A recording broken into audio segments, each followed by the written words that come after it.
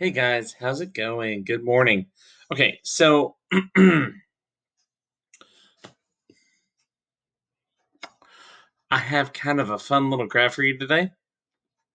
Um, if you're not done with your letter, go ahead and get that finished. Turn it in to me, okay? Try and get it done by like morning Friday, okay? If not today, I'd love for you to turn it in today.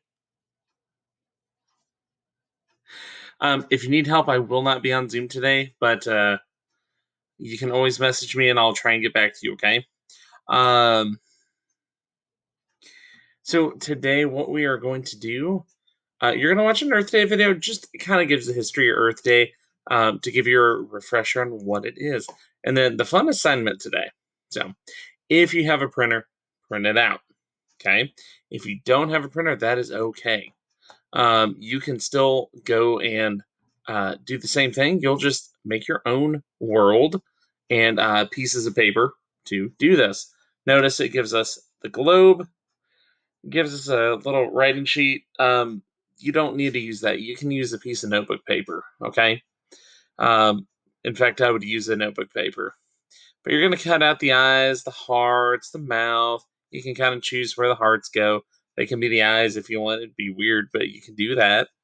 Um, but you're going to color your character. And if all you want to use is construction paper, you can do that too if you can't print it out.